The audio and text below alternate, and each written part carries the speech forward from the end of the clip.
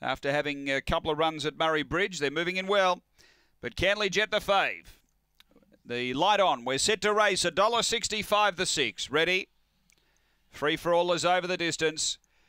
On their way, step cleanly, Canley Jet. Nations out from the inside quickly. Canley Jet putting the pressure on. Nations matching it early and getting the lead. So Nations a length and a half. Canley Jet early. Phil's Green third, and then came Springvale Cookie and Pirates Curse the last one. They got a lap to go, and it's Nations. Uh, the test at the 7:31 today, away by three. Canley Jet, who knows we get there, we know gets the trip pretty comfy in second. Then Phil's Green and a big gap away. Springvale Cookie and Pirates Curse back at the end. Nations down the back by four. Canley Jet doing the chasing. Uh, then Phil's Green Nation still going well. Then came Springvale Cookie, but on the turn, Nations going strongly. Phil's Green got past Canley Jet, and Nations is going to go on and win a double for Tony Rasmussen. Nations by four. Phil's Green second, Canley Jet third, then Pirates Curse and Springvale Cookie.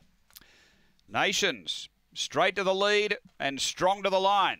Numbers are two uh, for Tony Rasmussen Nations, one second uh, Phil's Green, and third, number six, Canley Jet. That three weeks between runs, perhaps just finding out the fitness there.